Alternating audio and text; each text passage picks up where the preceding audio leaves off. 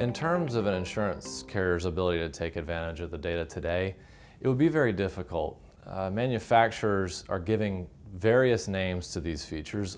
It's really not in a manufacturer's interest to provide consistent naming around ADAS features. As a matter of fact, there's a certain marketing cachet that comes with their naming convention, so it's really not in their interest to standardize around names.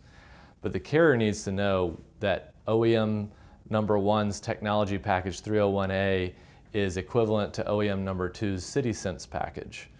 Luckily, LexisNexis has been doing things like that, this for years. We take over a million violation codes from the 50 states and we standardize them down into almost 600 SVC codes.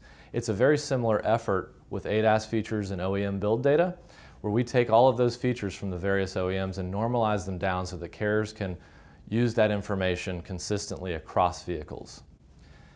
What's available immediately today is a vehicle history product. And this is where um, carriers can begin building their expertise around the vehicle, really expand what they're using in their vehicle rating to understand what has happened over the lifetime of the vehicle. In 2019, when we released build data, that gives the, the carrier the opportunity to understand what happened when the vehicle rolled off the assembly line. And then when you combine that with connected car data, which is what's happening to that vehicle on a second by second basis, that gives sort of a cradle to grave uh, overview of what's happening with the vehicle. And it's going to be really important to a product manager and insurance company to understand that full lifespan of the vehicle.